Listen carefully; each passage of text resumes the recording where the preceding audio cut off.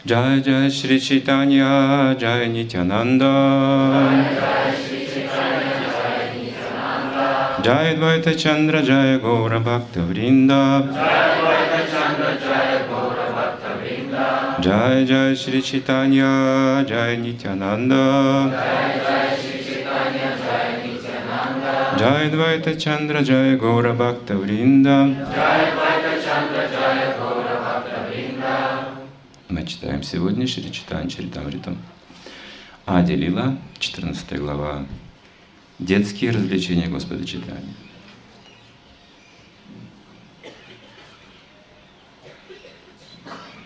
Текст 43. Шуньи крутахана прабу кара питара яна гари ятта бандачила перла бангия. Получив нагоняет матери, Господь забегал в дом и, сердясь на нее, разбивал там все горшки. Такие были отношения между Немаем и Шачматой здесь описывается. Она его ругала иногда, воспитывала. Он сердился. И гнев его выражался в том, что он забегал в дом и бил все там, бил горшки. Тогда Шачимата брала Господа на руки и успокаивала его. А он пристыженный просил прощения за свои проступки. Такая любовь. Комментарий Шилпрапада. Замечательное описание тех проказ, которые в детстве устраивало читание Махапрабху, дано в читании Бхагавати. Адиканда, третья глава. Там рассказывается, как Господь в образе ребенка таскал еду из соседских домов. В некоторых домах он крал молоко и тут же выпивал его, в других он точно так же похищал и съедал приготовленный рис. Иногда он разбивал горшки на кухне, если в доме не было ничего съестного, но были маленькие дети. Господь дразнил их, и они плакали. Иногда соседи жаловались Шачимасе, «Твой сын брызгает водой в уши моему малышу.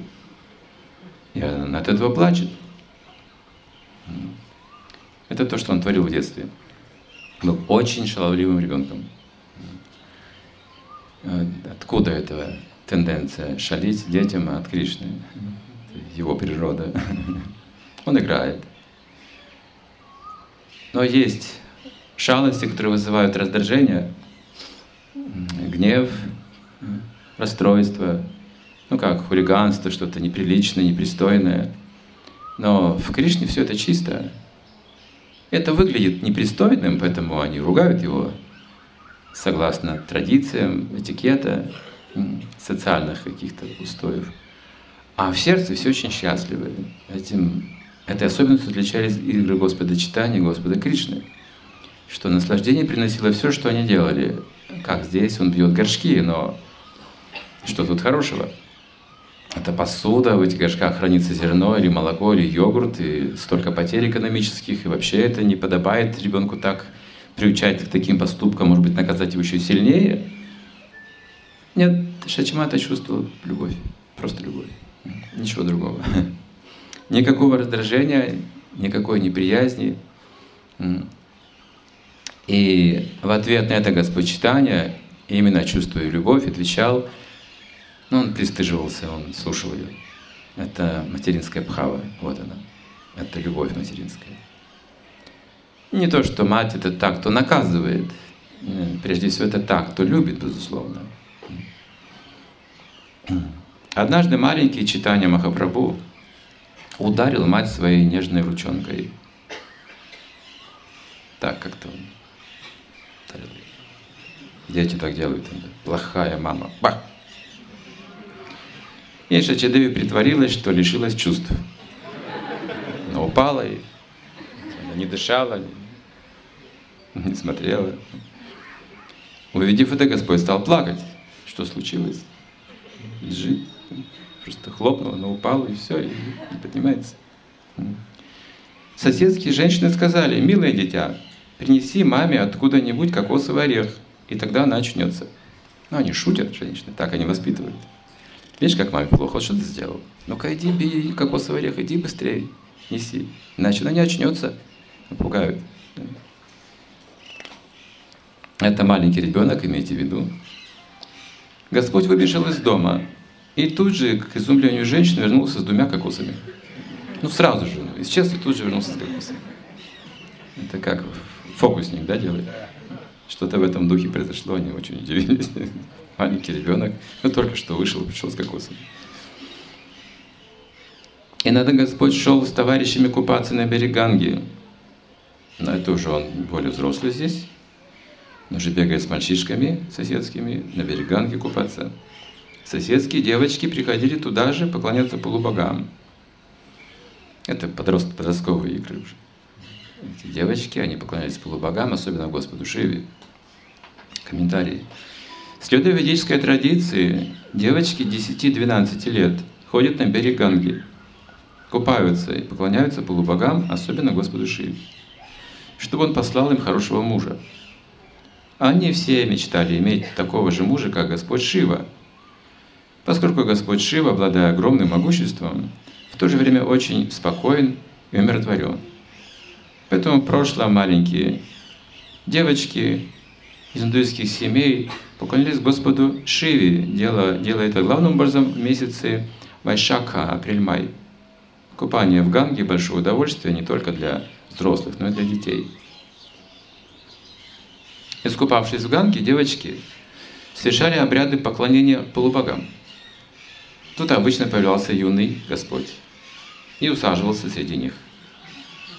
Девчонка садился туда,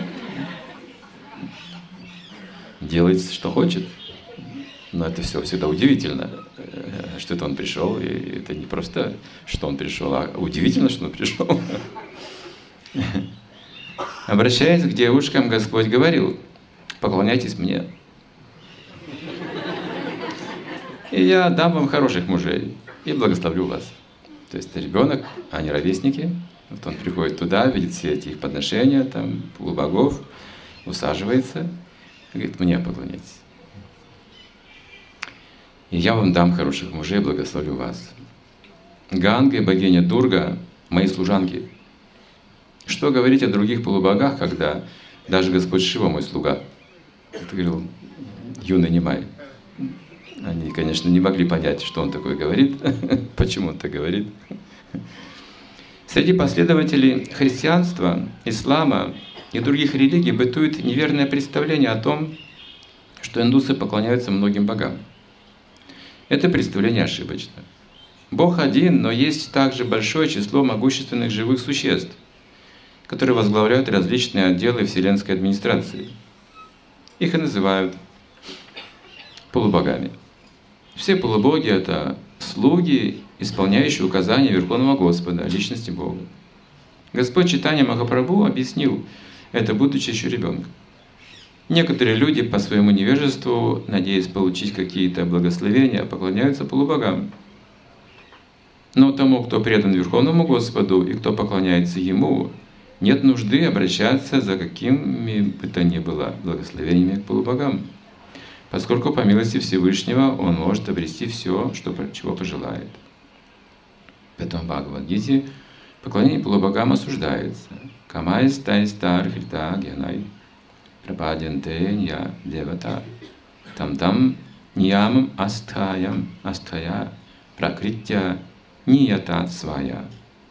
Лишь те, кто утратили разум и обезумели от вожделения, поклоняются полубогам следуя правилам поклонения, которые соответствуют их природе. Здесь говорится, они лишились разума, эти люди. Можно поклоняться Верховному Господу. Если есть какие-то желания, можно обратиться к Нему. Но что не устраивает людей? Почему поклоняются полубогам? Их не устраивает то, что Господь это выполняет по-своему – есть хитрость. Если мы что-то получаем от Господа, мы привязываемся к Господу, а не к Его дару. Если получаем что-то от человека, мы привязываемся зависимо от дара конкретно, а не того человека, который дарит. Что он нам дарит, мы от этого больше зависим, чем от человека. Если дар хороший, и человек тоже хороший. Если дар так себе, ну и человек так себе. Так мы измеряем все. И полубоги могут дать этот дар просто благодаря вожделению. Удовлетворить вожделение. Все.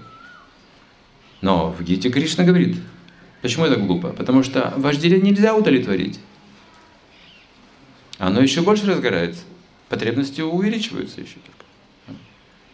И в конце концов люди даже бросают поклонение полубогам. О, это какие-то жертвоприношения, их пока еще удовлетворишь, еще неизвестно, получится или не получится это яги, еще браманов нужно найти, это немалые средства такие яги совершать. Будем просто брать сами, что хотим, без спросу, без всяких яги. Будем воевать, будем как-то развивать науку и ресурсы Земли использовать, сами разбогатеем без полубогов и без Всевышнего. Эти люди считаются больными. Те, кто поклоняются полубогам, утратили разум, а те, кто просто берут все, что им не принадлежит, полностью считаются больными людьми.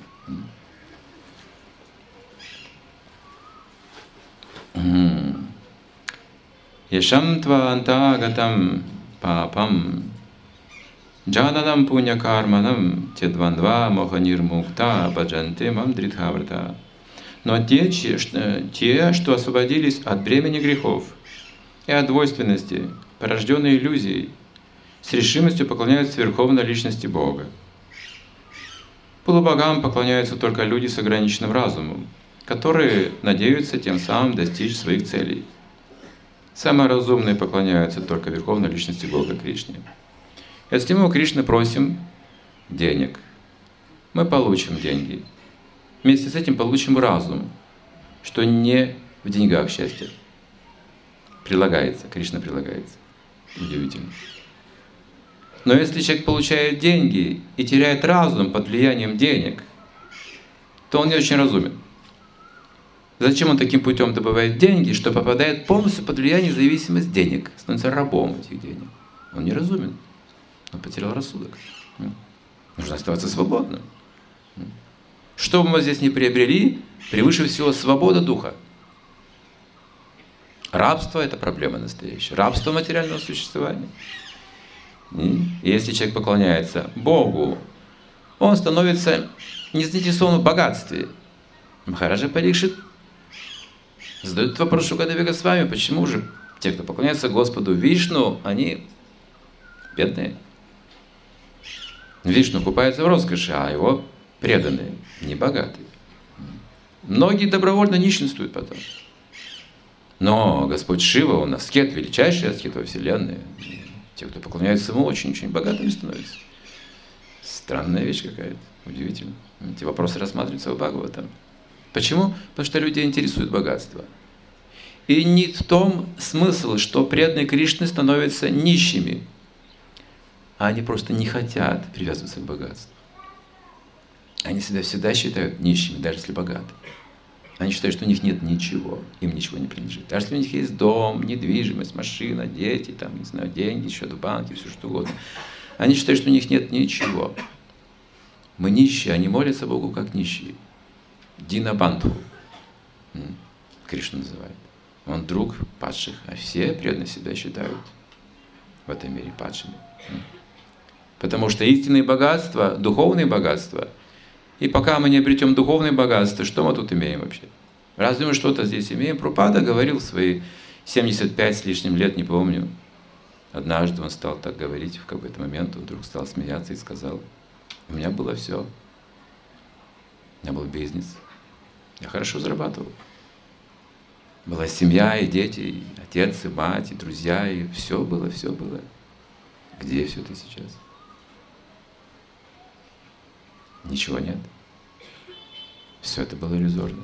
Он улыбался и говорил, вот так устроена жизнь, увидите сами. Это разум. Это разум видеть сквозь будущее, прошлое, настоящее и будущее, понимать суть вещей прямо сейчас. Прямо сейчас, есть у нас деньги или нет денег, а мы должны понимать суть жизни.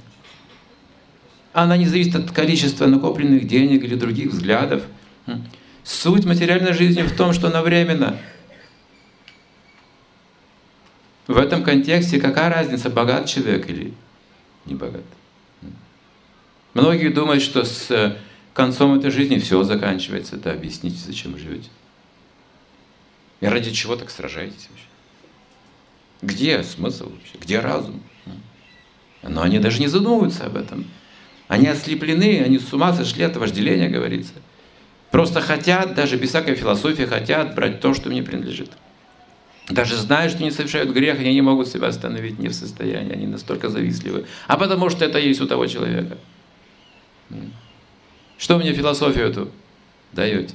Знаете, как люди живут, видите? Они смотрят и завидуют, завидуют, они распаляют свои чувства сами, они создают все эти конкуренции, они переписываются, переговариваются, они возбуждают умы друг друга, завидуют, сражаются, отбирают друг у друга, воруют любым способом.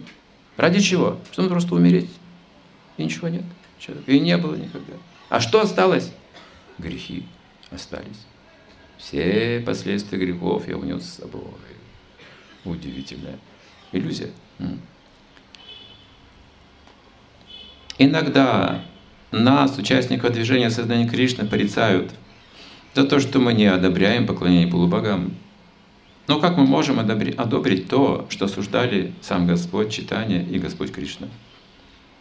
Как мы можем допустить, чтобы люди оставались глупцами и хрита гьянами, невеждами? Мы проповедуем просто для того, чтобы помочь разумным людям понять разницу между духом и материей, а также постичь Господа, Верховную Личность Бога, который представляет собой абсолютное духовное целое. В этом заключается наша миссия. Как мы можем намеренно вводить людей в заблуждение, побуждая их поклоняться так называемым полубогам, воплощенным в материальных телах и заключенных в границах материального мира? Позиция, которой мы придерживаемся, запрещая поклонение многочисленным полубогам, полностью согласуется с тем, чему еще в детстве учил Господь Читания. В этой связи можно привести слова из песни Шилы Наратам Дастакура. Аня Девашрая Наи Тамаре Кахину Бай Эй Бхакти Парама Карана чтобы стать стойким, чистым, преданным Верховного Господа – и служить Ему безраздельно Ананьябхак, следует не отвлекаться на поклонение полубогам. Такая решимость и сосредоточенность является признаком чистого преданного служения. В западных регионах традиция умерла поклонение полубогам. Когда-то это было, скажем, в культуре а, Древней Греции или в древней российской культуре мы находим такие э, сведения из древних источников, что люди поклонялись разным тоже богам. Это было. Но сейчас люди не знают об этом, что есть, существуют эти полубоги, эти уполномоченные существа во Вселенной, отвечающие за деятельность Вселенной, стихий и многих других вещей. Есть 33 миллиона полубогов, из них 33 ведущих и три главных.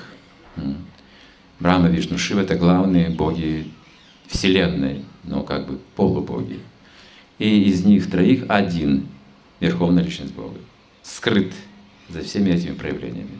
Так много живых существ, от которых мы зависим, от начальника на работе мы сейчас больше зависим, чем от полубога Индры в нашем сознании. Вот люди сейчас опустились на этот уровень. Поэтому, говорится, в гуне благости человек поклоняется полубогам. Все же это гуна благости. Он сознает эти стихии природы, он видит за этим энергию энергию Всевышнего, может иногда через полубогов а, передать какую-то жертву, совершить Верховному, как описано в третьей главе, с целью удовлетворить Всевышнего, передают полубогу какому-то, могущественному. Есть специальные яги и ведах для этого. Но а, жадность и вожделение становятся причиной того, что они забывают о цели жертвоприношения, просто начинают поклоняться полубогам, а потом и это оставляют и поклоняются сильным мира сего. У кого есть деньги и власть? Люди работают, служат и делают то, что они хотят. Если даже это делится зловредное, но поскольку там есть выгода, жадность, деньги, они служат им, производя плохие вещи даже. Это люди уже утратили рассудок всякий. Но и это тоже не предел. Говорится, в Бхагавадгите есть поклонение еще ниже. В гуне невежества еще есть поклонение, где люди опускаются на уровень черной магии управляют через черную магию, достигают какого-то результата. используя других людей как инструмент для достижения цели, как оружие или как эксплуатируемое существо, которое принесет то, что он хочет. Мистические йоги тоже иногда скатываются на этот уровень, обретая э, Ишита Ситху или Камава Саита Ситху. Они могут приказывать мысленно человеку, тот выполняет то, что он хочет. Как бы, как бы зомбирует человека, так говорится. Ситха. Итак, если человек не поклоняется Богу, то в итоге он опускается ниже и ниже в этих гунах природы и опускается на уровень этих демонических отношений, эксплуатации. Поэтому это неразумные люди. А, Пани чандана пари паренна палламала наведья кадьякхана сандиша чалакала. Простите, я не очень хорошо читаю бенгали. На самом деле это очень красиво звучит. Несмотря на протесты девушек, Господь отбирал у них сандаловую пасту и наносил ее на свое тело. Они протестовали, что есть обряд, есть традиция. Тут этот мальчишка пришел, он сейчас все нарушит, мы хотим мужа, он не понимает, портится. Надевал на себе на шею на, на, на шею их гирлянды, отнимал и съедал все их подношения из сладостей, риса и бананов. В общем, все забирал себе. Там было много всякого вкусного, конечно, не готовили, чтобы Господь Шива был доволен. И так он пошлет им хорошего мужа. В 12 лет девочки уже это делали, чтобы обеспечить себе будущее. Потому что именно Господь Шива самый милостивый из полубогов и могущественный. Кому еще поклоняться, как не Шиве? Он исполняет материальное желание оставаясь аскетом, может озолотить. И поклоняться не так сложно ему. Но тут Немай приходил, все съедал.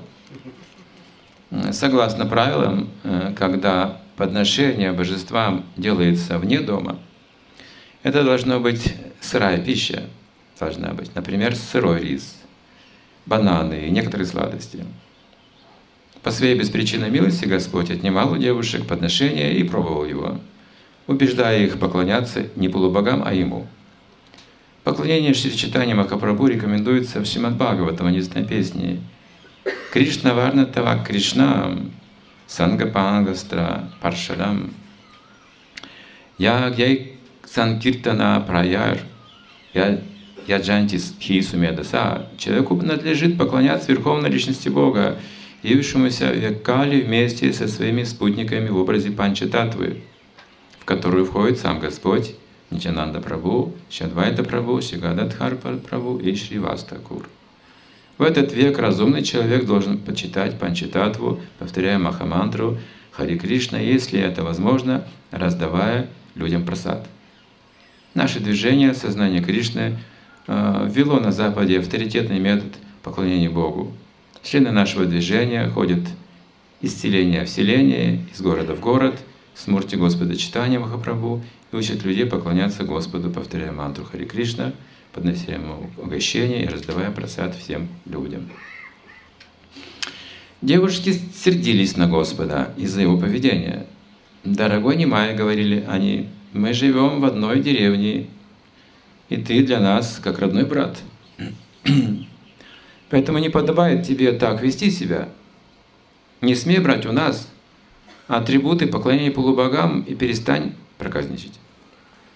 Господь отвечал, дорогие сестры, я благословляю вас, чтобы у всех у вас были красивые мужья. Тут он задевает за очень такую нотку э, важную в жизни этих девочек, он дает им благословение, и обычно люди верят в эти вещи. А вдруг у них у меня возникает, а вдруг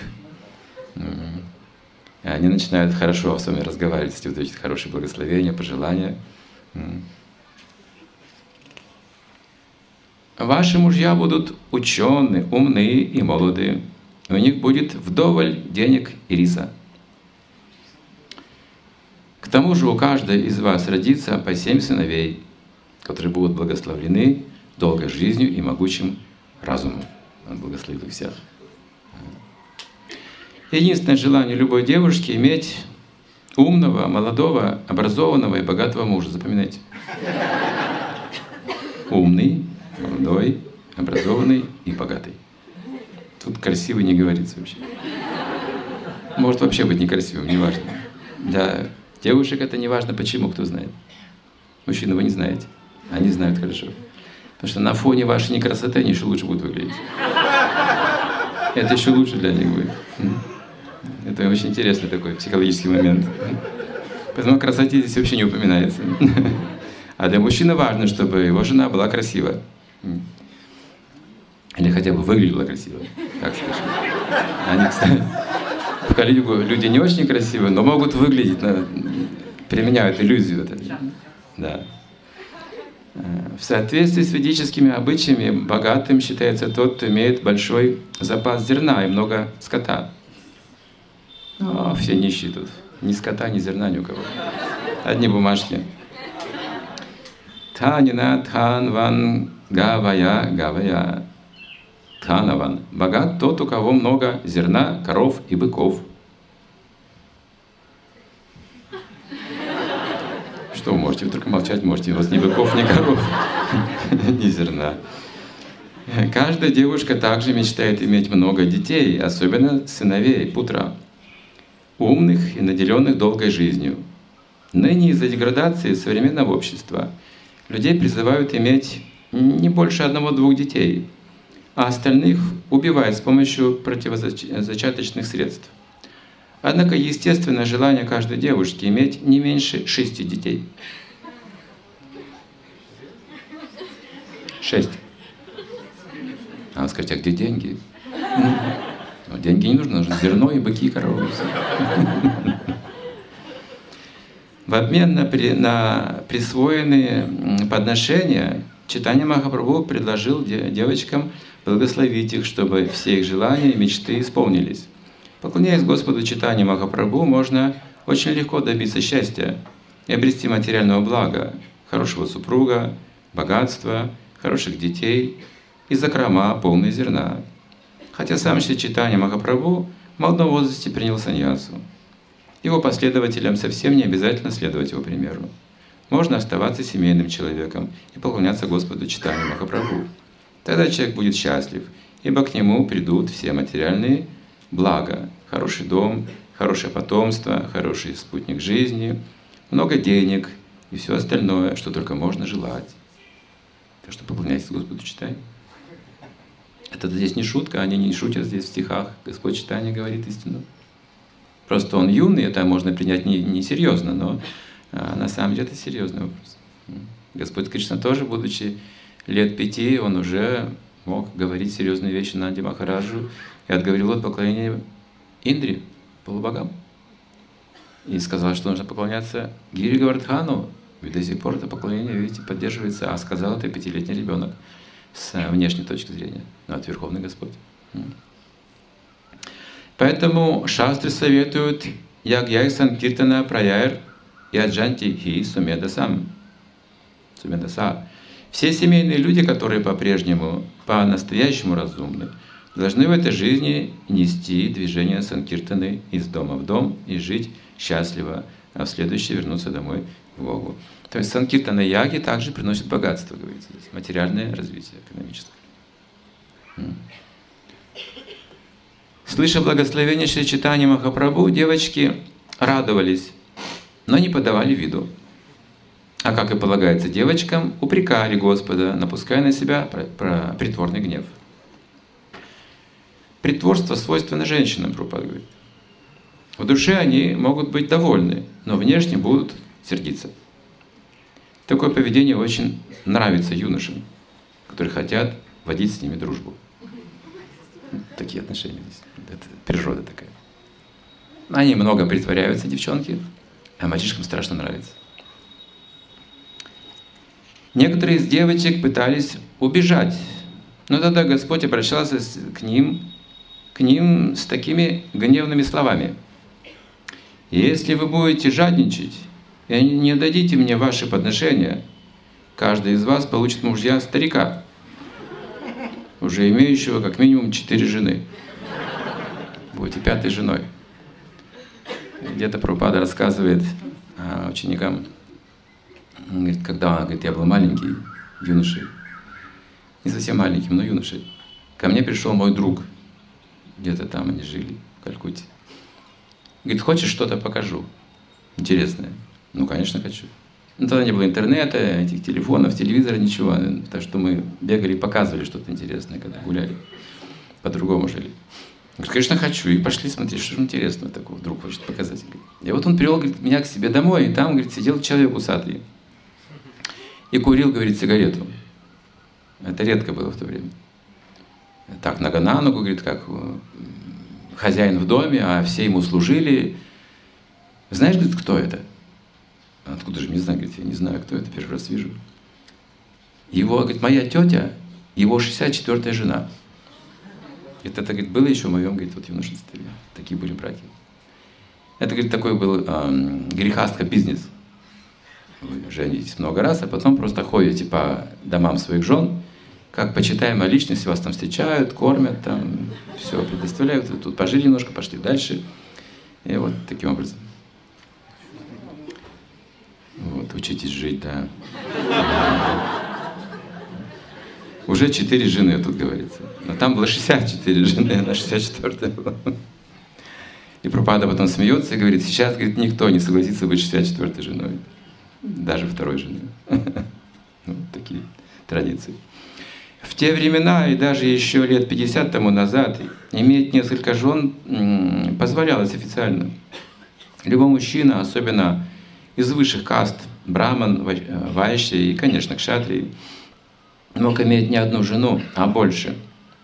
В Махабхарате, истории Древней Индии, мы видим, что множество было, многоженство было особенно широко распространено у царей кшатриев. Ведическая культура не препятствовала этому. И даже мужчина старше 50 лет мог жениться. Но стать женой мужчины, уже имеющего несколько жен, было незавидной участью, поскольку свою любовь такой муж вынужден делить между всеми женами. Господь Читани Махапрабху сделал вид, что собирается проклясть тех девушек, которые не захотели отдать ему наиведию, чтобы их мужем стал мужчина, уже имеющий, по крайней мере, четырех жен. Обычаи, позволяющие мужчине иметь несколько жен, могут быть обоснованы следующим образом. В любом обществе число женщин превосходит число мужчин. Поэтому если по законам общества каждая девушка должна иметь мужа, то необходима полигамия, иначе этот закон будет неосуществим. Если же не все девушки имеют возможность выйти замуж, то возникают условия для внебрачных связей. А такое общество, в котором позволенной внебрачной связи не может быть мирным и чистым. Нашим движением сознания Кришны мы запрещаем незаконные половые отношения. Однако на, на практике оказывается непросто подыскать мужа для каждой девушки. Поэтому мы, в принципе, не возражаем против полигамии, если, конечно, супруг способен содержать несколько жен. И что же выяснилось? Никто не способен содержать несколько жен. Поэтому такого закона у нас тоже сейчас нет, Пропада его отменил. Здесь он говорит, что в принципе это возможно и почему так было, он описывает, чтобы мы знали, чтобы не было предрассудков. Но согласно нынешним обстоятельствам, забудем про это. Забыли, нет? Не так-то просто об этом забыть, верно? Услышав э, это шутливое проклятие Господа читания, девочки пугались, подумав, что он может обладать каким-то секретом или силой, полученной от полубогов, и что его проклятие может исполниться. Они были напуганы вот этой угрозой его. Те, которые хотели убежать, помните, они хотели убежать, тут он их останавливал. Поэтому они возвращались и отдавали Господу свои подношения. Вкусив от них подношения, Господь дарил им благословение, которое они желали. Так он добивался своего. Когда люди узнавали о шалости Господа, это не вызывало у них никакого недовольства. Напротив, все почувствовали счастье, узнав о его проказах. Вот вам критерий, что перед вами Господь. Все, что не делает, счастье, любую вещь. Как это? Радхарани, она иногда приходит на Варшану. раз в год, неделю или две она проводит там, не в доме мужа, а у родителей. А Кришна отсутствует. Отсутствует Кришна, он Мадхуру ушел. Мадхуру. Он же уехал. И она в разлуке, она идет на Варшану. Варшана — это место их встреч, очень интимных, любовных. И она идет, чтобы вспомнить Кришну, чтобы думать об этих отношениях. Она испытывает сильную жажду разлуки. И сидит на холме и видит туча грозовая плывет прямо в ее сторону, но проплывает туда, в сторону Мадхуры. И она цветом, как Кришна, Витхарани, она вспыхивает чувство и говорит, ты же в Мадхуру идешь. Посмотри, там видишь Кришну, передай послание. Я хочу кое-что сказать ему. Сможешь передать послание, что я жду его? Считаю мгновение. Он же обещал вернуться, когда он вернется. И туча прогромыхала, но как я узнаю Кришну? Какие признаки? Опиши мне, кто такой Кришна. И Радхарани говорит, он красив, он такого цвета темноватого, него павлине перо в волосах, флейта туча громыхает. И говорит, ну, многие люди могут так одеваться. Есть смуглые люди, могут себя украшать очень похожим образом. Есть еще что-то отличительное. Ну, есть, он очень красиво играет на флейте, он танцор, великолепный, удивительный танцор. Туча сказала, но Люди многие играют на флейтах, на музыкальных инструментах, все любят танцевать. Как же я смогу найти Кришну? Опиши что-то что особенное. И Радхарани говорит, ну вот есть особенность. Есть. Там, где он появляется, вокруг него собираются все живые существа.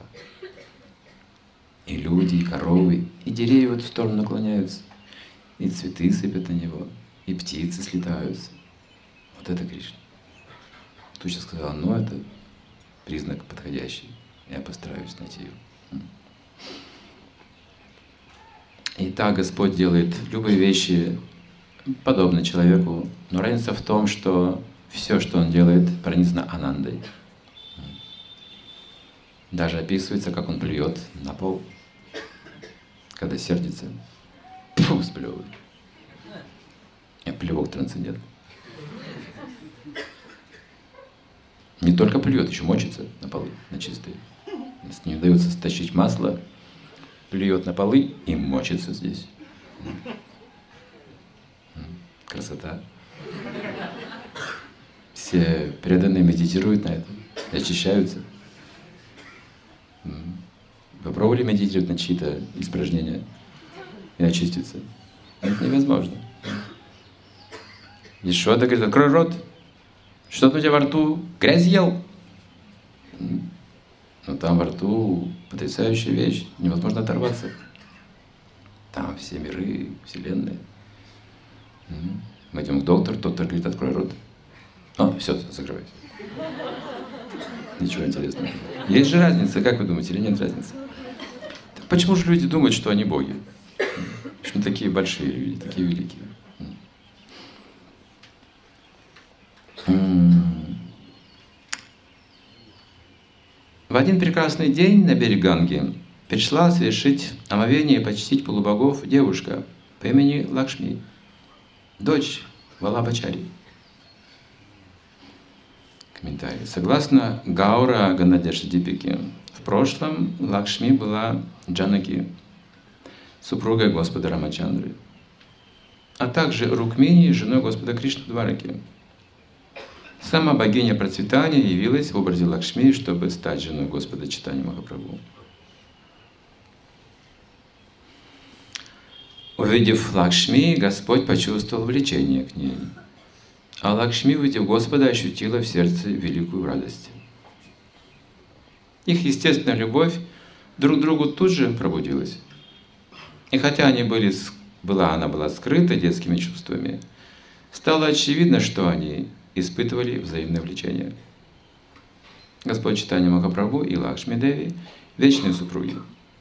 Поэтому вполне естественно, что любовь друг к другу пробудилась в них с первого взгляда. Стоило им встретиться, как в них проснулись естественные чувства друг к другу. Когда люди привлекаются друг другом, причина этого некоторый, некоторый потенциал, потенциал благочестия в прошлом.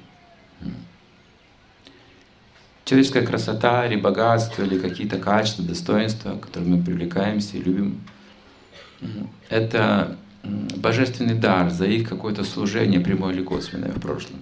То есть они отражают как бы Кришну.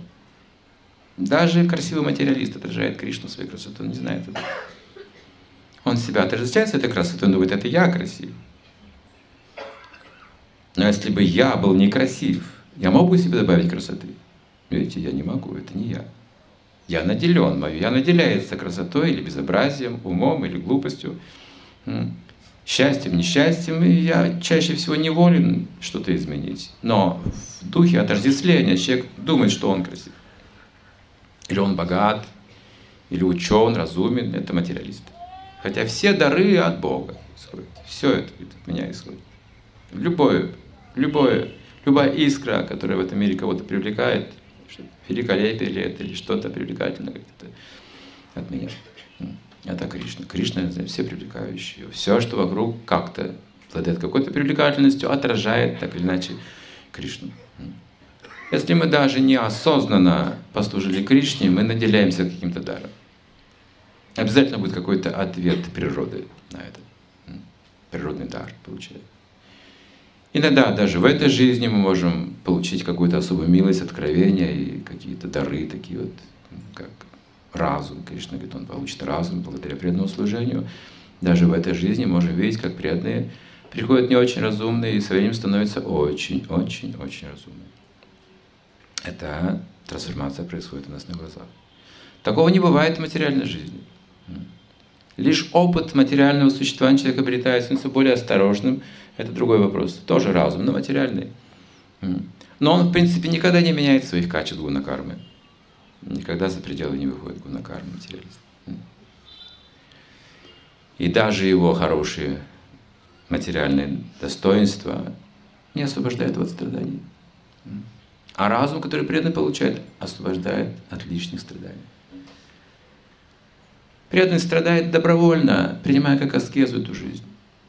Он никогда не страдает вынужденно. Это серьезная разница. Вынужденное страдание – это наказание – за грехи. Но поскольку преданный безгрешный становится, он не совершает грехов, воспевает святые имена, служит Кришне, то он, его страдания нужно принимать как добровольную аскезу, которую можно легко терпеть.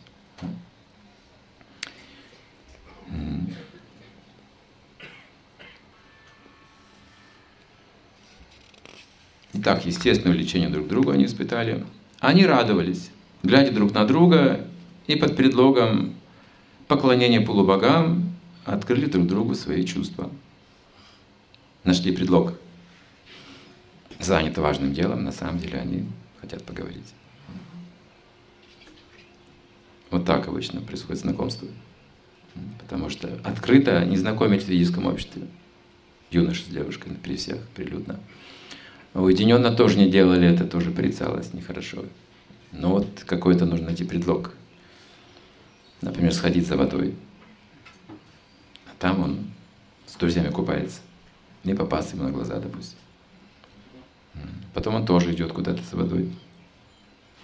И когда Радхарани пришла к Кришне в дом впервые, Ишота э, сразу заняла ее служением, и Кришну тоже. И они, поскольку привлеклись друг к другу, предлог, предлог общения было какое-то служение. Потом они с великим энтузиазмом принялись к служению. На самом деле причина была не в служении, потому что не привлекались друг к другу. Так же преданные поступают. Ой, так легко стал совершать преданное служение. С этим человеком, не то, что раньше. Вот с этим вообще ничего не хотела делать, а с этим мы просто знаете, читаем Бхагавата, мантру повторяем, и просад готовим, ну все, все, все. Так они, так они ошибаются.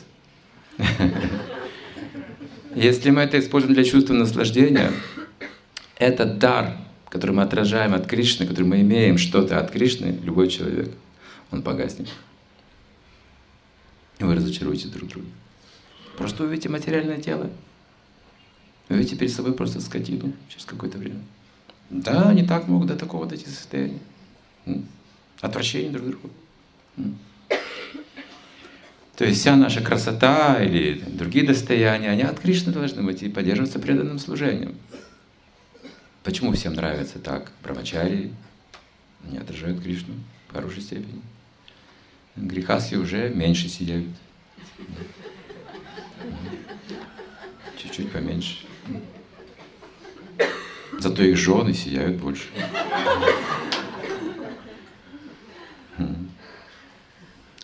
Господь сказал Лакшми, поклоняйся мне, ибо я Верховный Господь. Если ты станешь почитать меня, то получишь желанное благословение. Он говорит это всем, даже Лакшми, видите. Оставь все и предайся мне, служи мне. Он всем это говорит. Это есть высшее благо. С точки зрения эгоизма, какое же это высшее благо? Почему нужно кому-то служить, от кого-то зависеть? Но каков Кришна, его природа такова. Он хочет всем раздавать свои достояния, распространять блаженство. А как? Через поклонение. Говорит, поклоняешься мне, автоматически блаженство увеличивается от меня. Это моя природа. Даже как желудок требует пищи, если мы кладем пищу в желудок, автоматически насыщается все тело, автоматически. Это положение Господа, это Его природа, естественно. Поэтому, когда мы видим, как Господь действует, Его природу, мы восхищаемся. Но если кто-то имитирует эту природу, это становится отвратительно. Человек неприятен в такой роли. Если кто-то скажет нам, поклоняйся мне, и я сделаю, чтобы ты был счастлив. Ну, сработает на какой-то, пока у него есть деньги. Вообще это неэтично так говорить, поклоняйся мне, я тебя буду награждать благословениями. Это отвратительно для человека. Итак, есть разница между человеком и Богом. Ту же философию провозглашал, провозгласил сам Господь Шри Кришна Сарва Тарна Паритяджа Мамакам Шаранам Раджа Ахам Твам Сарва Папебхьо Макшяшями Машуча. Оставь все религии, просто предайся мне. Я избавлю тебя от всех последствий твоих грехов. Не бойся ничего. Бхагавадгита. Но людям не, но люди не понимают этого. Они привыкли ублажать и почитать многочисленных полубогов, людей и даже кошек с собаками, но отказываются, когда их просят поклоняться Верховному Господу. Это называется иллюзией.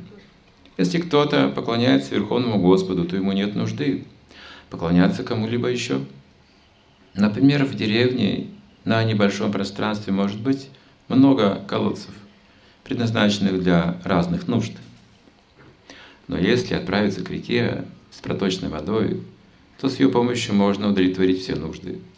В реке можно набрать воды для питья, постирать одежду, помыться и так далее. Подобно этому, тот, кто поклоняется Верховной Личности Бога, получает все, что он желает. कामैस् तैस् तैर् हृत ज्ञानाः, пропаденте, нья, девата. Только люди, потерявшие рассудок, ради исполнения своих желаний почитают различных полубогов. То, что мы получаем от Господа, невозможно присвоить. Если вы получаете дар, талант, вы не можете его присвоить, вы тут же начинаете служение. Также касается остального, если мы именно от Кришны получаем богатство, мы тоже не можем присваивать, не возникает такой мысли. Но все, что мы получаем от других личностей, от полубогов в том числе, и от сильных мира сего, мы прячем от других.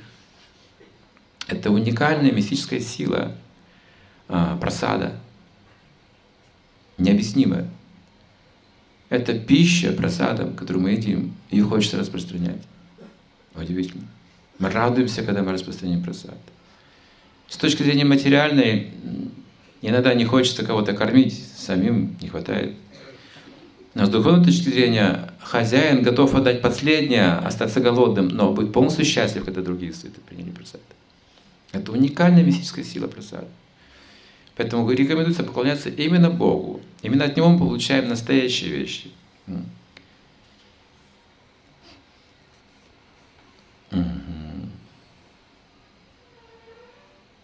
Услышав слова Шри Махапрабху, Верховного Господа, Лакшми тут же почтила его, нанеся ему на лоб сандаловую пасту и украсив цветами.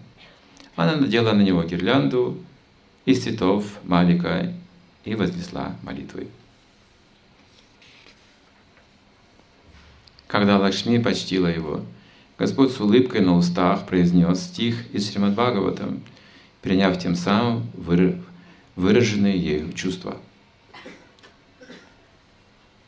Непостижимый любовный обмен, то есть на высоком уровне бывает непонятно, о чем люди говорят. Она выражает почтение, но это такая глубина, что Господь читает, отвечает священным текстом. Не просто Он лично благодарит его, отвечает священным текстом. Священные слова говорит. Священные слова должны произноситься, когда люди вступают в брак. Если священные слова не произносятся при вступлении в брак, это самскара животных отношений. Там просто вожделение. Хотя бы должны чувствовать силу долга в этот момент. В этот момент. Не думая о чувственных наслаждениях, а о долге, который предстоит им выполнить вместе. Это более чистый подход. Ну, здесь вершина всего Верховный Господь, Лакшми, Деви, выражает ему почтение, как это подобает, и как подобает Верховному супругу, отвечает священным текстом, еще в детстве. Господь процитировал 25 э, стих из 22 главы 10 песни Шримад Бхагаватам. Гопи поклонялись богине Дурги или Катяяне, в сердце желая получить Господа Кришну мужья. Кришна, будучи параматмой, узнал о пылком желании Гопи, и потому устроил лилу, получившую название Вастрахарана. Когда Гопи пошли к Ябуне, чтобы совершить омовение, они оставили свои одежды на берегу и окунулись воды реки Нагими. Воспользовавшись этим, Кришна собрал их одежды и уселся с ними на ветвях дерева, поджидая, пока они появятся перед ним, Нагими, и намереваясь стать их мужем. Гопи хотели выйти замуж за Кришну, и поскольку женщина может предстать обнаженной только перед мужем, Господь Кришна, похитив их одежды, тем самым принял их молитвы и исполнил их желания. Когда же гопи наконец получили свои одежды обратно, обратно Кришна произнес этот стих. «Дорогие гопи, я чту ваше желание стать моим, моими женами, чтобы вы могли поклоняться мне. Я хочу, чтобы это желание исполнилось, ибо оно, только, ибо оно того заслуживает.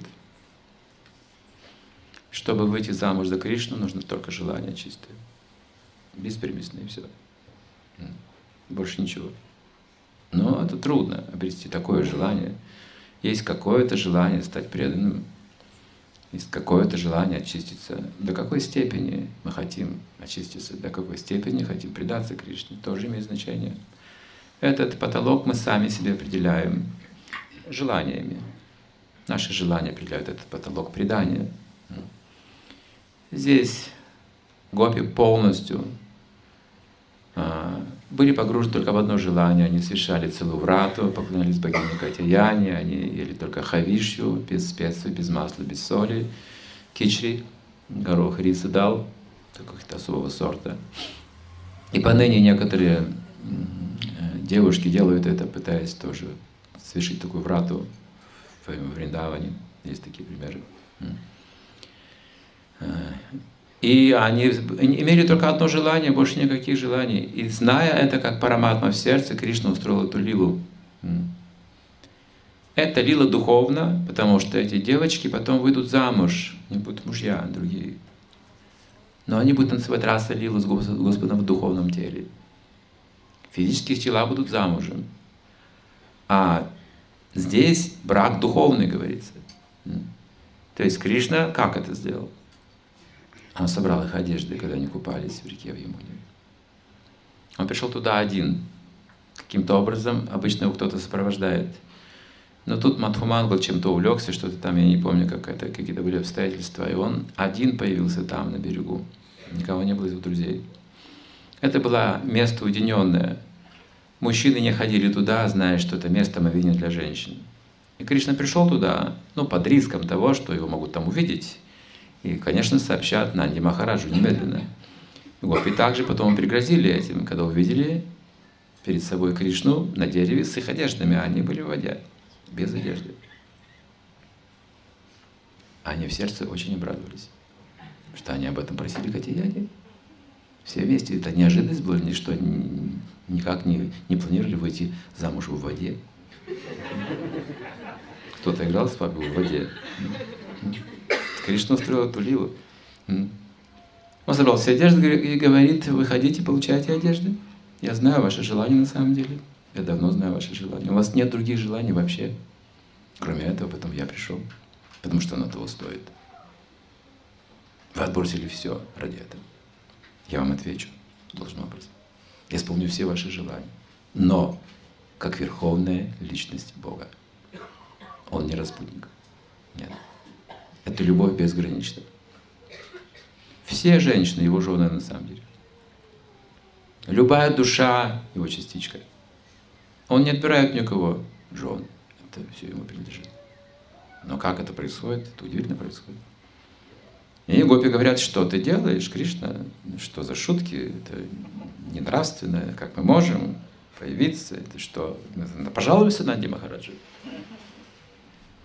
А я, говорит, не боюсь Нанду Махараджа, он уже стар, ничего не сделает против меня. Старые родители, они не, не строги к своим детям. Гопи, нет, вы попались. Никто не накажет меня, даже если узнает об этом. Но вы молились целый месяц, я знаю об этом желании. И мое условие – подходите по одной. Не все сразу. Должны каждую видеть отдельно, во всей красе. Подходите и берите одежду. Выбирайте. Они не решались тогда еще. Они уже было холодно, нужно было выходить. Они переглядывались, улыбались и думали, что же делать. И в конце концов, когда все было исчерпаны, все аргументы, они стали выходить, стала серьезная сцена. Фактически это было как бракосочетание, они понимали. Они просто вышли, брали свои одежды, и Кришна сказал, это самые чистые мои самые великие преданные отныне. Это чист, самая чистая лила. Те, кто слушает правильно эту лилу, очистится от всех пороков вожделения. И здесь Господь Читания цитирует этот стих. «Я хочу это желание исполнить», Кришна говорит, ибо оно этого заслуживает. Гопи подруги Кришны были примерно одного с ним возраста. Но в глубине сердца они мечтали о том, чтобы Кришна стал их мужем. Но из-за девичьей стыдливости они не могли открыто выразить свое желание. Поэтому позже, похитив их одежды, Кришна заявил им, «Я сразу понял, каково ваше желание, и оно мне понравилось. Я похитил ваши одежды, и вы пристали передо мной полностью обнаженными, то есть стали моими женами». Находятся глупцы, которые, не понимая намерений Господа и Гопи, настаивают на своей точке зрения и без нужды порицают их. Однако в этом стихе Господь разъясняет подлинный смысл Вастра Хараны. Так, раскрыв друг другу свои чувства, Господь Читания и Лакшми вернулись домой. Кому под силу понять сокровенные игры Господа Читания Махапрабху. Мы остановимся.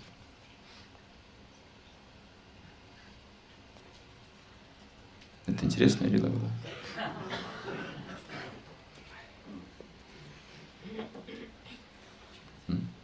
Правильно слушать это как? Ушами слушайте все.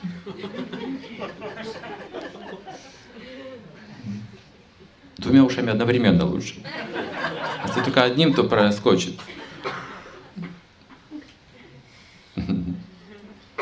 Это развивается способность, не беспокойся об этом сильно.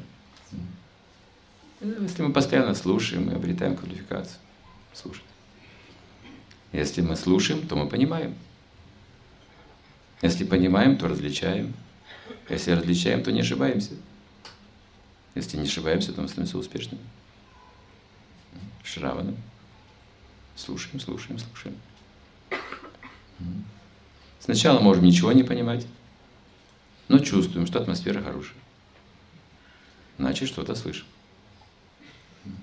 Это и есть признак того, что мы слышим.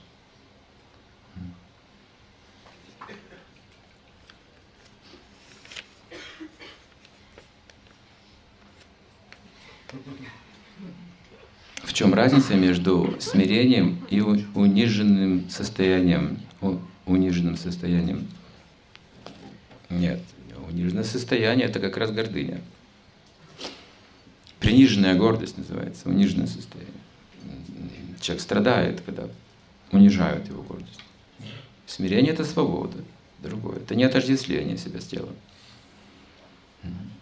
Это ну, великое качество, чисто духовное качество. Но как описываются также разные виды смирения. Например, человек теряет что-то в своей жизни. Большая утрата, потеря. И вот в это время он становится подавленным, смиренным. Это тоже не отождествление, разотождествление с собственностью какой-то, скажем, или с человеком каким-то. И вот он страдает. Вот это состояние тоже называется смирением, утрата вынужденная потеря. То есть смирение здесь в данном контексте будет э, синонимом страдания. Но настоящее смирение не вызывает страдания, потому что человек себя не отождествляет с утратой. То он не подавлен. Он просветлен становится.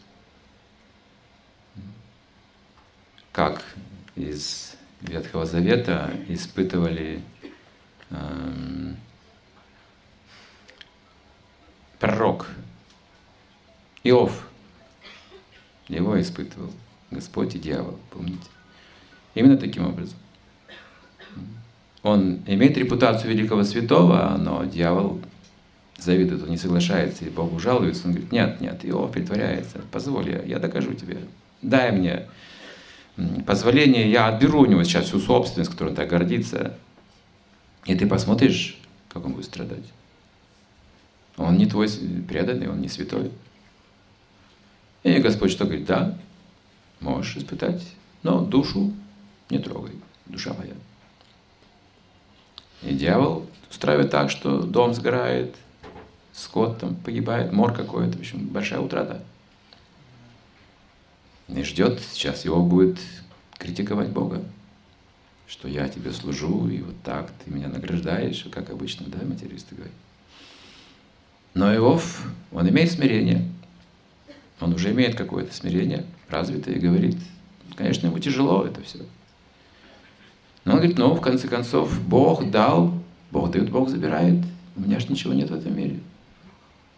Бог радуется. Дьявол злится. Нет, это еще не все. Не все. Позволь, позволь. Это касается его собственности. Дай право мне. Дай мне право забрать его близких ты увидишь, этого не вынесет. Он будет тебя критиковать. Он отойдет от служения Богу. Ну хорошо, испытает, говорит Бог, но душу не трогай, душа моя. И умирают его близкие все, и дети, и жена, все, и дома нет, дом сгорел, овцы сдохли, и семья вся погибла. Что же его говорит? Ему очень тяжело. Но он имеет смирение. Говорит, в конце концов, все от Бога зависит. Бог распоряжается всем, не я. И он выносит даже эту потерю. Бог радуется. Дьявол злится. Нет, не верю. Последний шанс дай мне. Это просто его лично не касалось ничего. Дай мне его тело. Тело можешь взять, сказал Бог. Душа моя, душу не трогай. И дьявол посылает ему оспу. Страшную болезнь. Если человек выживает, то он урод на всю жизнь. Все, никаких шансов на счастье. Вот эта тяжелая болезнь поражает его. И он начинает критиковать Бога, описывается. Не выносит этой потери. Это самое трудное испытание. Но поскольку он имел великие заслуги, многих людей вел к Богу, он был святым человеком, он пытался служить Богу и пытался развивать с Ним отношения. В сердце он любил Бога. То Бог лично защитил его душу. Он явился перед его душой. Сказал, Иов, ты такой великий, что можешь осуждать даже меня. А где ты был, когда я творил этот мир, Иов? Подумай об этом. Был ли у тебя дом, дети? Были ли у тебя эти скот, эти приобретения, эти последователи? Кем ты был тогда? Я знаю каждое живое существо. И Иов становится снова на духовный путь. Здесь говорится, что смирение без Бога до конца невозможно. Люди до какой-то степени, конечно, должны быть смиренными, чтобы поддерживать мир в обществе. Но в какой степени быть смиренными? Духовное смирение это означает, что я себя не отождествляю вообще с материальным телом. Я знаю, что я душа. Это основа всех духовных качеств. Это разделение материи и духа. Это наука также, это великие знания, это опыт, это практика, и это качество в конечном итоге.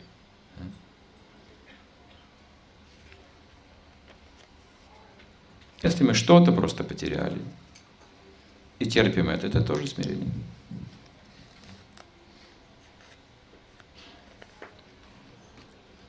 А если бы люди имели настоящее смирение, то после смерти они бы не рождались в этом мире. Они бы уходили выше. Но они даже в момент смерти не могут расстаться с собственностью и с этим делом. Не хотят оставаться.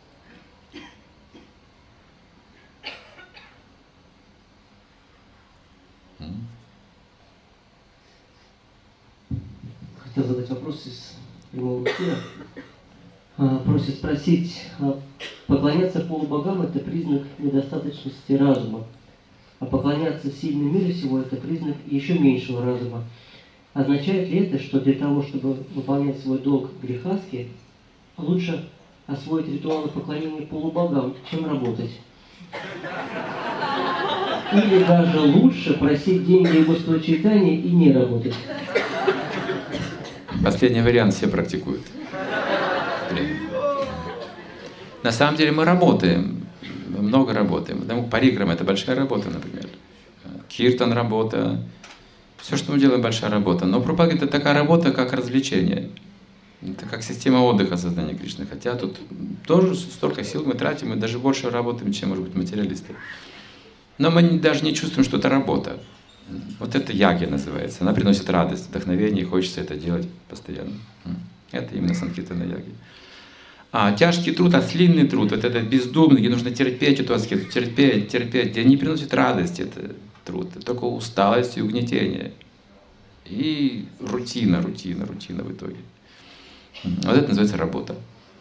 Так работать никто не хочет с преданными.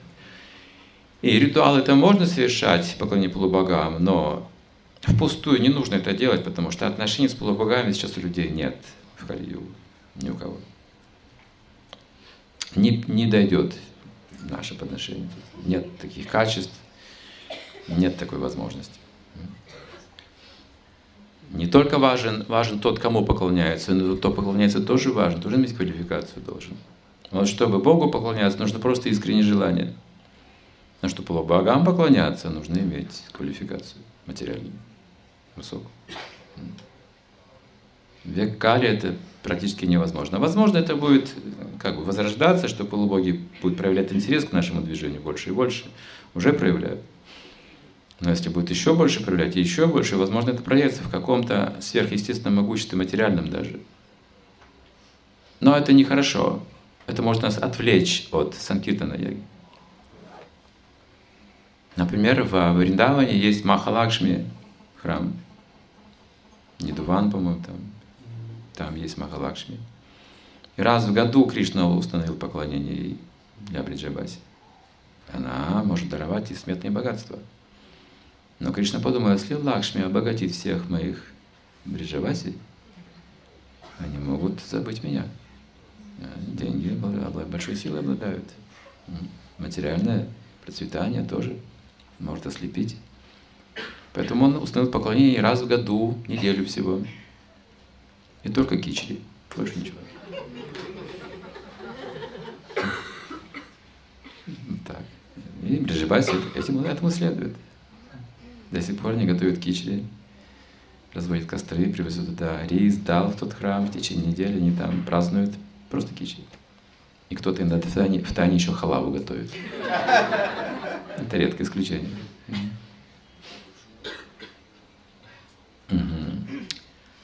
Поклоняться Господу читанию и не работать. Не получится. Придется книги распространять, храмы строить, Э, участвовать в э, парикрамах в Майяпуре, строить храм ведического планетария. Много чего придется делать. Не получится не работать. И все же это движение очень процветающее уже сейчас, искон. Эти массовые посещения. Откуда у вас деньги, скажите? А вот коснись, ни у кого денег нет. Никого не спроси, как ты, где деньги взял? Ну, Кришна помог. Каждый говорит. Вообще надо провести расследование, где все берут деньги. Не раз в год, а постоянно ездят туда-сюда, не только в Индию, а повсюду, куда не поедешь, везде. Надо расследование провести.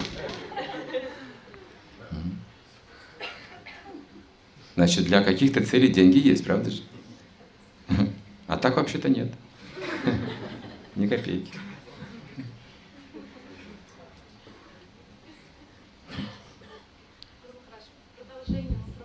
смирении хотела спросить, почему часто происходит так, что э, у нас происходит с нами какое-то испытание, это испытание делает нас смирение, но потом, спустя время, это все забывается, то есть это слабый разум или что, и как с этим, что с этим делать?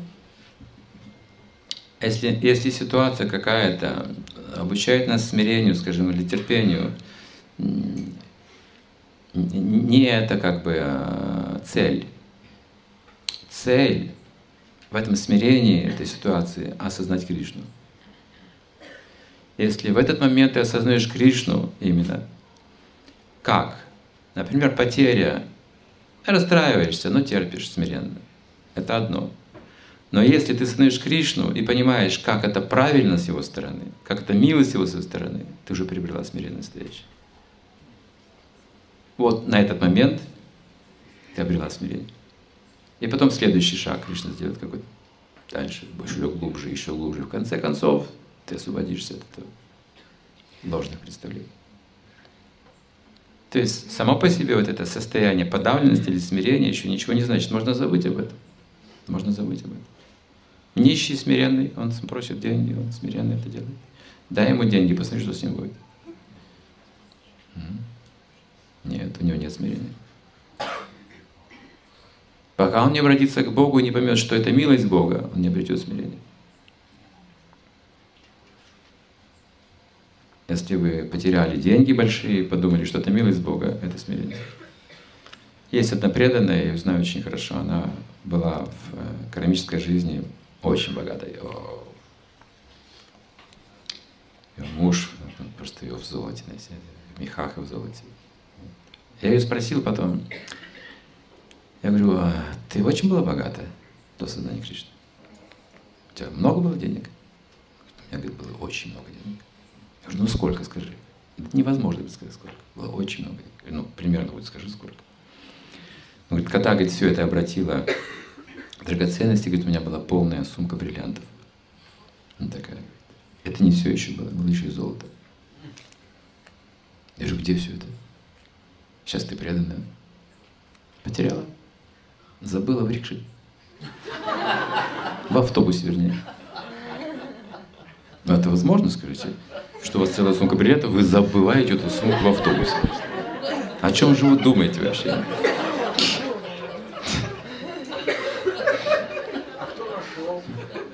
Вот видите, сразу вопрос возникает. А кто нашел? Я сказал, и что, как, я говорю, как ты это пережила вообще? Это же целое состояние. Она говорит, это милость Кришны. Все, она улыбается, занимается преданным служением. Вот это смирение. Не так, что до конца дня человек потом думает об этом. Как же это? О, как же это? Дура, дура, дура.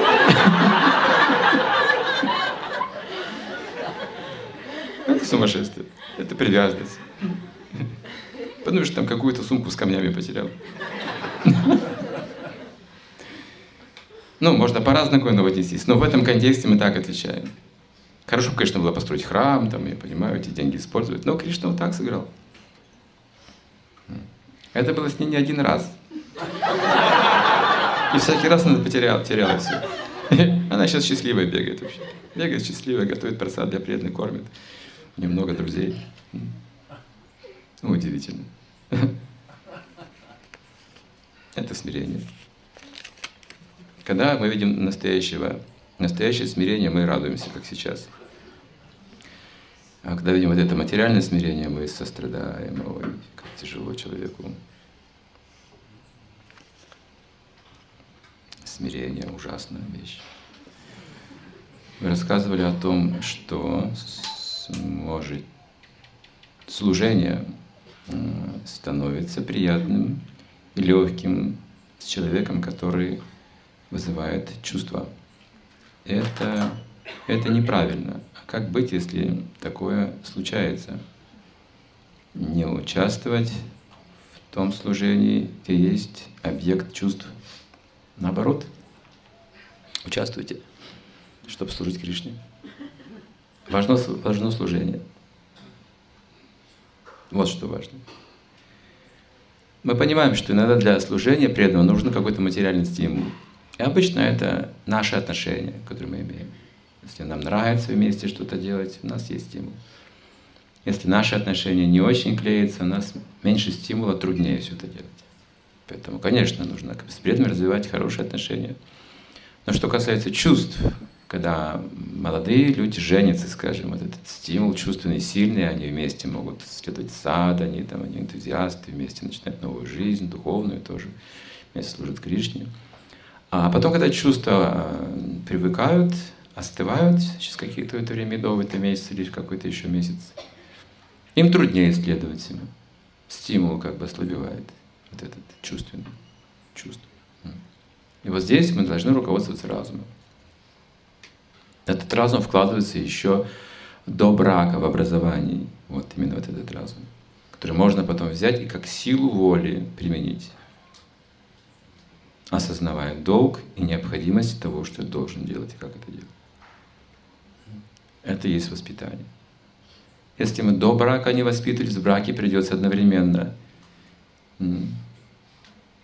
наверстывать упущенное. Уже, уже в браке. Это труднее, но это надо сделать. Семейные люди, они настолько капризные сейчас стали. Очень сложно с ними. Чуть что они могут уже жить вместе, смотрите, могут. Очень капризны. Очень слабый разум. Только чувства. Хотят наслаждаться и все.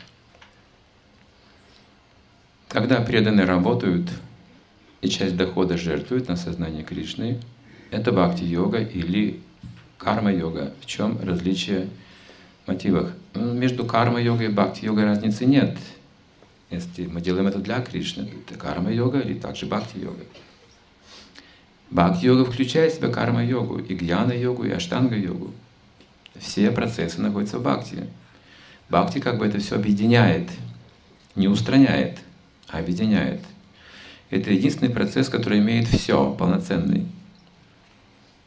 И если мы без Кришны совершаем такую как бы карма-йогу, как поклонение полубогам, то для этого требуется работа, честный труд. Такое условие. Если нам надоело честно трудиться, уже потеряли смысл просто в этом труде бесконечном, даже честно, тогда нужно отречься от работы и встать на путь к гьяна-йоге. Нельзя работать. Нужно отречься. Если мы уже а, нам наскучили эти все измышления наши, исчерпали все свои умственные возможности, и не хотим, вкуса нет ни к работе, ни к философствованию, то медитация привлекает такого человека. Но тогда он больше не должен заниматься ни гьяной, ни кармой. Исключает. Но если в медитации мы достигаем созерцания Верховной Личности Бога, пробуждается бхакти. И что происходит? Невероятная вещь происходит. Бхакти пробуждает наш вкус к деятельности для Кришны, размышлять о Кришне и медитировать только на Кришну. Все процессы сразу же объединяются. Это самая могущественная йога поэтому. Поэтому не разделяйте здесь карма-йога или бхакти-йога. Это лишь метод служить Кришне, работа. Но по сути это бхакти, это не карма. Нишкам карма еще называется. Без желания платов, без желания выгоды. Нишкам карма. Это уже элемент бхакти. То, что вы делаете бескорыстно именно. Сримад Бхагаватам 22.17 говорится, что карма-йога не ведет на Вайкунтха Локу, что только бхакти-йога туда ведет. Ну и что? Карма-йога, мы занимаемся карма-йогой для удовлетворения Кришны. Если вы говорите карма-канда, это другой вопрос. Карма-канда ведет на высшие планеты, райские планеты, не на Вайкунтху. Но бхакти-йога занимает нас в преданном служении. Мы также занимаемся деятельностью. Даже наши саньяси занимаются многим видом деятельности. В строительстве храмов, то, что мы сейчас видим, это тоже деятельность. Материальная деятельность, посвященная Кришне. Бхактивинат Такур сказал, что тот, кто будет участвовать в строительстве этого храма, получит освобождение. Моя будет.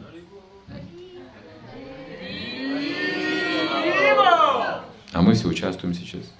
Каждый что-то либо говорит об этом, либо жертвует деньги. Многие русские помогают тоже.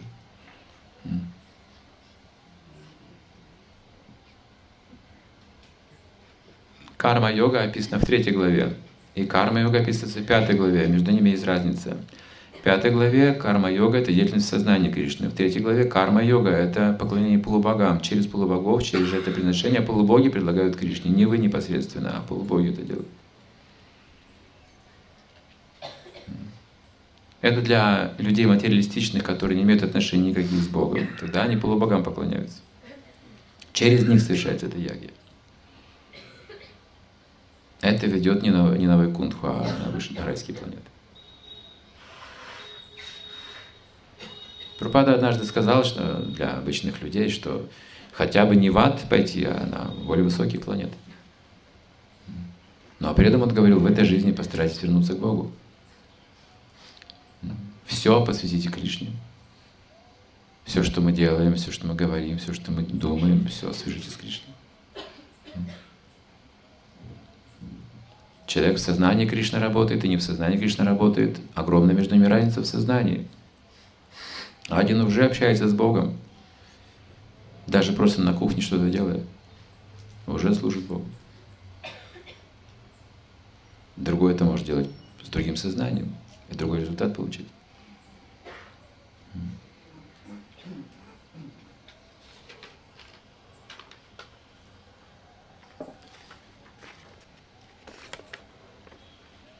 Вы сказали, что материалисты не могут ничего менять в своей жизни, но мы видим, что многие из них меняют свою, свою внешность и положение в обществе. Это вопрос их благочестия. А как они меняют? Пластическая операция, внешность имеется в виду, или костюм, или что, атрибуты какие-то. Их качество не меняется. Качество образа жизни их не меняется. Это не смогут изменить. Они тоже могут стать серьезнее в том плане, что есть опыт страданий. В чем-то они могут быть разумны, чтобы избежать каких-то страданий на опыте. Но избавиться от страданий они не в состоянии. А в чем их страдания? От собственных качеств. Они не могут это изменить. В чем-то они становятся мудрее на какое-то время. Если человек обжегся, понятно, что он горячего не тронет. Но разве это какая-то важная перемена в жизни? Лишь некоторый опыт. Но чтобы изменить себя именно, трансформировать, это вопрос любви уже. Научиться любить, значит, трансформировать себя, научиться любить Бога и все живое. Это служение из любви должно исходить. Это перемена.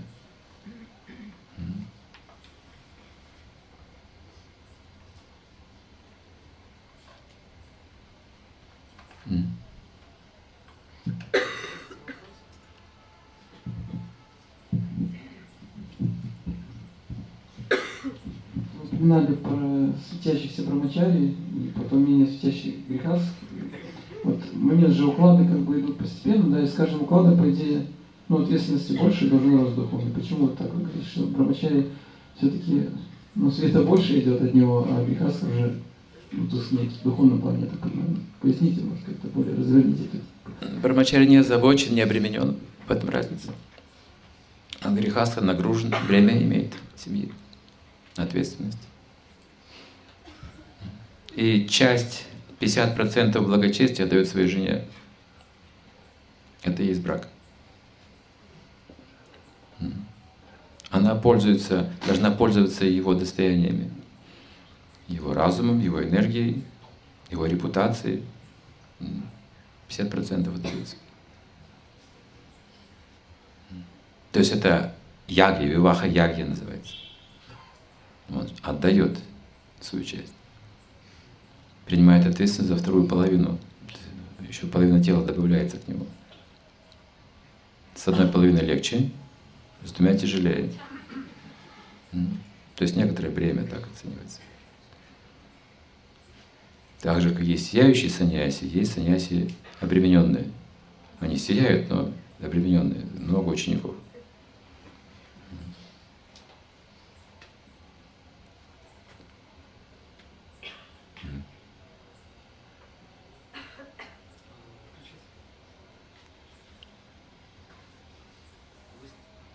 Вы сказали, э, что э, потолок преданности определяется своим собственным выбором, э, моими желаниями. И вот как быть, если вот эти желания, они как бы очень такой низкий потолок преданности определяют? А что с ними делать? Если нет такого сильного желания предаться Кришне, то нужно иметь желание иметь такое желание и так далее. Если нет и такого желания, то иметь желание, иметь желание, иметь такое желание. Всегда с чего-то можно начать, это развивается. Желание — это энергия души, это можно развивать бесконечно. Например, если мы видим хороший пример преданного какого-то, у нас возникает желание стать преданным, верно же? Просто при общении. Вдохновение приходит к нам, мы хотим тоже уподобиться такому человеку. Нас вдохновляет. Поэтому мы ищем хорошее общение и так поддерживаем свой энтузиазм. Так наши желания углубляются больше, больше, больше. В какой-то момент мы скажем, ну все, прощайте мои молитвы, мои омовения, все правила, ритуалы, все остальное. Больше ничего не нужно. Кришна вошел в сердце. Все, больше ничего не нужно.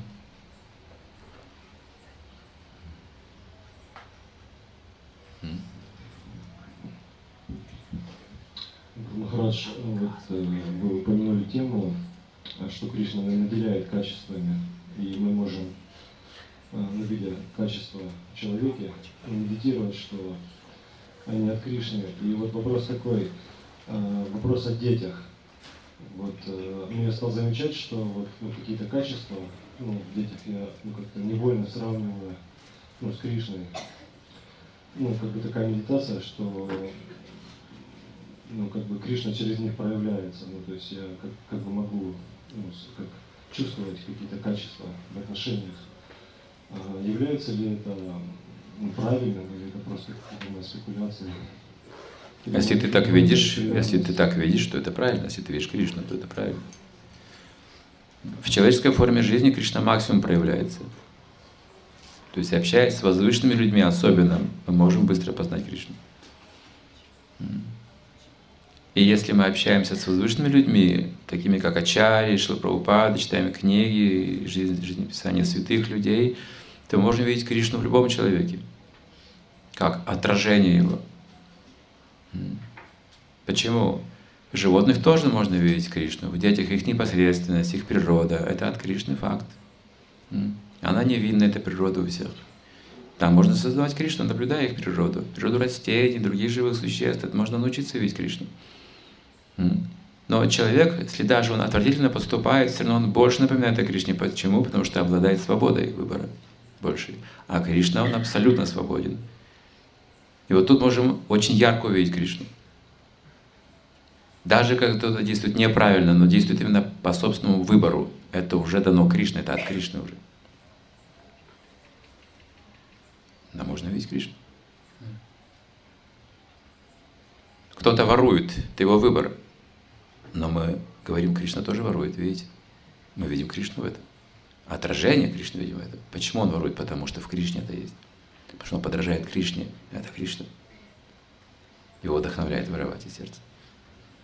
Поэтому Кришна как бы косвенно чувствует свою ответственность за, за грехи и страдания людей. Косвенно. Не прямо, но косвенно. Поэтому он посылает священное писание, преданных, сам иногда приходит, как бы, чтобы спасать людей.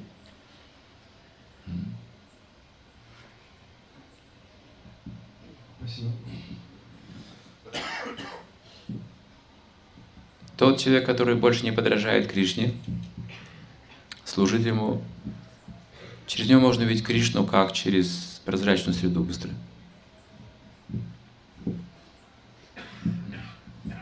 Это будет самый могущественный даршан. Когда мы видим через чистого преданного. Это и есть настоящий даршан Кришны.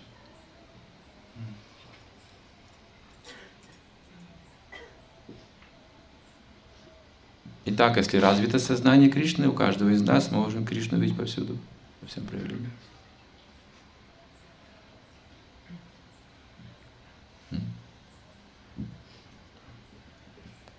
А, у меня микрофон. Можно задать вопрос? Да. А как научиться любить Кришну, развить эти качества? Говорят, сначала научись любить себя. Что значит научись любить себя? Ну вот у меня такой вопрос. Да, с этого и начнем. Любить себя означает четыре регулирующих принципа, 16 кругов и Кришна мантры. Все, все. Теперь, теперь ну, можно служить Кришне, все, такой человек допускается к служению Кришне. То есть только через служение ты получишь любовь к Кришне. Только через служение. Любовь это и есть служение. Она так, она пробуждается через служение. Пропада объясняет, что в те времена, когда он жил, девочки выходили замуж иногда в 7-8 лет. Но это не тот брак, что мы можем думать. А, она жила в доме своих родителей, мальчик жил в доме своих родителей, но они знали, что не муж и жена уже. Все. И что она делала, как они общались? Она готовила. Девочка для мужа. Этот муж такой сидит, знаете. Он уже себя чувствует мужем, все, уже Пуруша. И тут Лакшми уже в этом вот возрасте, они уже готовят, она ему приносит еду, он ест. Вот так развивались отношения через служение взаимное. Он начинает о ней заботиться тоже. И они так привязывались друг к другу до брака уже, что в браке даже мысли не возникало о разводе. То есть система ведическая такая. Через служение. А сейчас что происходит? Они женятся, а служить друг другу не намерены. Иди сам стирай свои носки. Что-то в этом духе можно увидеть. Угу. недолговечно. Нет служения, нет любви, не поддерживаются отношения. Служение – это основа любой цивилизации. Пока есть служение, цивилизация будет жива. И такую цивилизацию не разрушит никто. Там есть преданное служение. Извне нет такой силы. Изнутри есть прекратить преданное служение, все развалится.